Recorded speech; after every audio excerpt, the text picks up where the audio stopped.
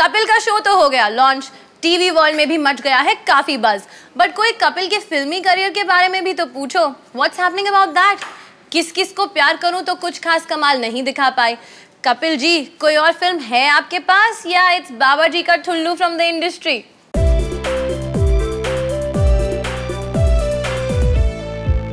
so recently Kapil Sharma launch his show जिसके highlights तो spot boy ने आपको दिए ही। बट अब हम आपको बताएँगे कपिल के अदर प्लान अभी तक तो it was all about his TV show but what about his फिल्मी करियर जब उनसे पूछा गया कि वो बड़े पर्दे पर नेक्स्ट कब दिखेंगे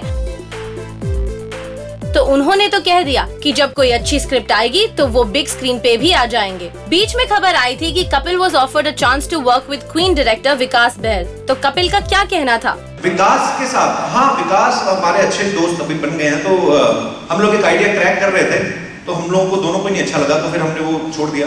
अभी कुछ और कर रहे हैं। अगर कुछ अच्छा बना तो हम लोग ज़रूर साथ में करेंगे। हम लोग इन टच रहते हैं साथ में तो मे भी साथ में शायद कुछ करें कपिल का स्मॉल स्क्रीन का करियर भले ही निकल पड़ा हो उन्हें अभी भी बॉलीवुड में इतना सक्सेस नहीं मिला है। उनकी पहली बॉलीवुड फ़िल्म किस किस को प्यार करूँ थी बॉक्स ऑफ़िस पे एक फेलियर इन 2015 स्पॉट बॉय ने आपको पहले बताया how Kapil is in bad books of most Bollywood producers including the director duo Abbas Mastan who directed किस किस को प्यार करूँ। वेल well, होप इस बार कपिल की बॉलीवुड गाड़ी निकल पड़े।